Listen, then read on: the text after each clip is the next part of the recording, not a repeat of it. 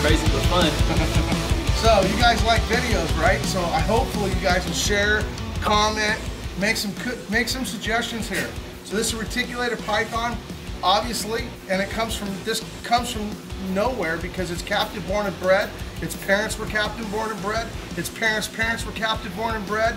So if you want to make a comment about how it should be free in the wild, I might as well warn you up front.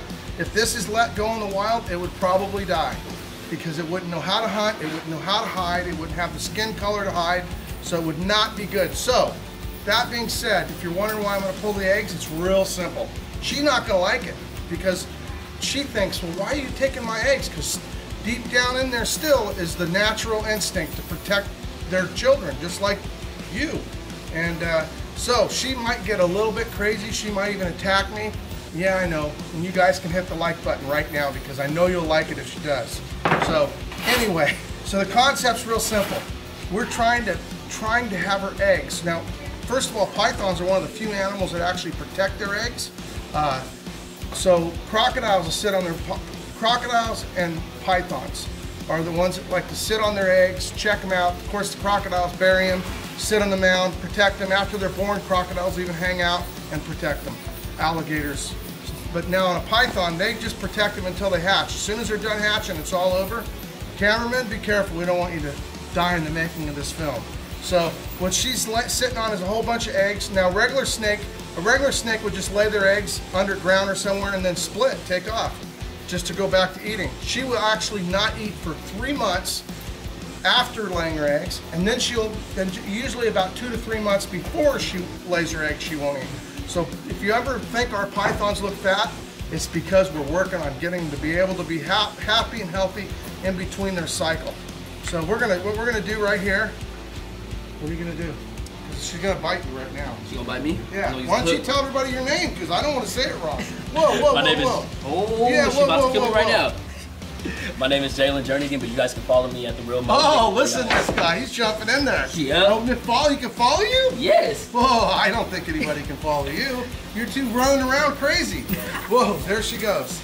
So let's see here. So, so go ahead. Where, where you? Where, where's your? Where's your? What's your? What? Follow you? What? At the real Mowgli with three eyes. Okay, here we go. So let's see what we got going on here. Hopefully you guys are following me too. So this this right here is what you call python. Wanting to protect their babies like I said you would. So what I'm gonna do is I'm gonna be a little you need to stay a little bit clear because I she really can actually hurt. You think I'm kidding that's from the python last week. Well you wanna kiss me right here, don't you? Come on. Come on, come on.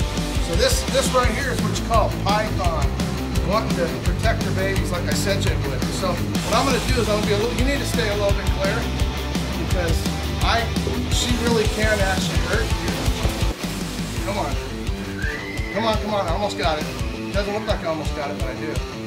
So she, I can tell she's not really full-heartedly wanting to get me, but she's, this is not one of the major tame snakes in our, in our location. We're at the reptile zoo having a good time, this, but this is Python 101 pulling eggs, so I'm gonna take her. I'm gonna try my best to keep her a little bit occupied.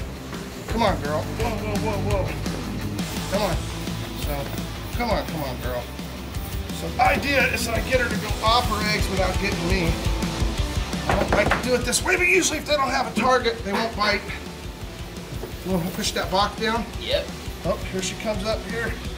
This is how I get bit once in a while on the elbow. That was her head I'm holding back. So not every egg is fertile. Oh, here, set that over there. Got it. We'll keep pushing down the back of that box. Help me out. Yeah. So these eggs can't roll around. And so, whoa, come on, girl. Look at that. She wants to say hi. now she's acting a little bit, a little bit uh, preoccupied with other things. Whoa, whoa, whoa, whoa. I can't have you get bit. If I get bit, it's no big deal. I'll survive. Okay. Come on, girl. She's really, really. So it looks like we got quite a few infertile eggs. So not every egg is fertile. In the wild, a lot of these eggs would never make it. Uh, most of them would most likely less than one would survive the whole ordeal to adulthood. Uh, of course, if one of every, if every time one of these python laid eggs, everyone made it to adulthood, can you imagine how many pythons there'd be? They would be on the most non-threatened list. instead of being on the threatened list. And uh, because these pythons lay a lot of eggs for a reason. They're like an insect. Insects lay a lot of eggs because a lot of things eat them. That's the same way with pythons. So, of course, they don't eat them when they're big, they eat them when they're small. So we're gonna get rid of those infertiles. We're gonna grab these. Now, you notice they're all stuck together? Look at how they're all stuck together. That is an incredible design portion of how the eggs work. Because if they roll around, they don't do well. So they just come glued together. How that worked out is beyond me.